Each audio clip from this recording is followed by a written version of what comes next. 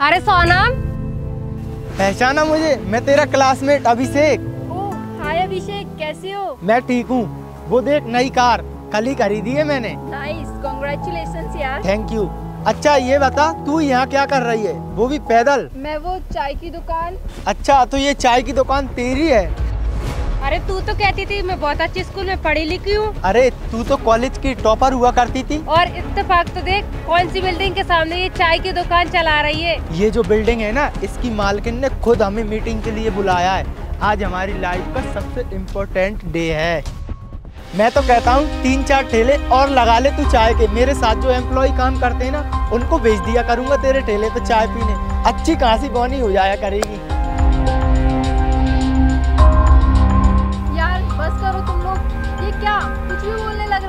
सही तो कह रहा हूँ हमारे कॉलेज की टॉपर एक छोटी सी चाय की दुकान लगा रही है। अच्छा वैसे तू ये बता महीने का कितना कमा लेती होगी चार हज़ार पाँच हज़ार ज़्यादा से ज़्यादा दस हज़ार रुपये।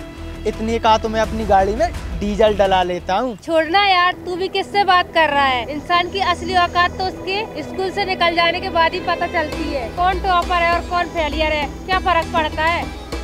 हमें खुद मैक्सिमा कंपनी के मालिक ने कॉल करके बुलाया है।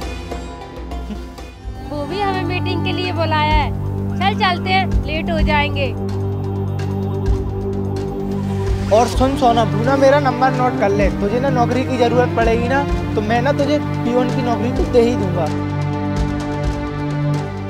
अरे मैम आज आपने मुझे आपकी कार से ऑफ़िस भेज दिया और खुद पैदल चली आई। काफ़ी देर हो गई थी मुझे आपकी चिंता होने लगी इसलिए मैं आपको देखने चला आया। और ये लीजिए आपकी कार की चाबी। मैं ठीक हूँ भैया मेरी चिंता करने की कोई ज़रूरत नहीं है। अरे सोनम ये तुझे मैम साहब क्यों बोल रहा है? यही तो है मैक्सिमा कंपनी की मालिक और मैं तो इनका ड्राइवर हूँ। इसका मतलब ये चाय की दुकान तुम्हारी नहीं है? अरे वो चाय की दुकान तो मेरे छोटे भाई की है। जब ये कंपनी बन रही थी ना तब मैम साहब ने मेरे छोटे भाई को जो दुकान खुलवाई थी मैम साहब तो हमारे लिए भगवान के समान है।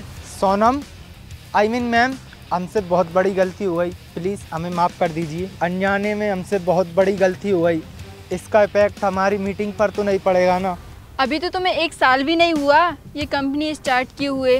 बहुत छोटी कंपनी है तुम्हारी तो। तुम्हें पता है ये डील तुम्हें क्यों मिल रही थी? क्योंकि तुम मेरे बहुत अच्छे दोस्त थे इसलिए। खैर आज तो तुमने मेरी आँखें खोल दी। बहुत अच्छा किया ये तुमने।